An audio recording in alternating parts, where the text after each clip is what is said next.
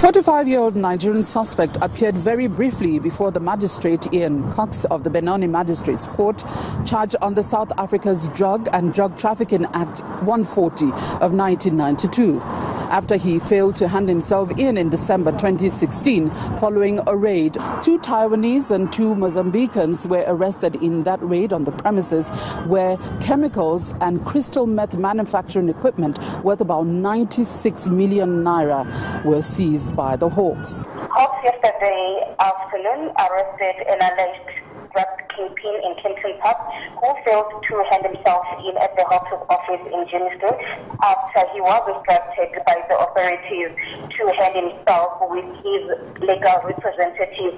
This was regarding a clandestine laboratory which was used to manufacture crystal meth in Pomona. The case was postponed to the 10th of February for further investigation, and this is uh, when he will, this is where he will be appearing together with his co-accused. If found guilty, the suspect stands a minimum of 15 years in jail.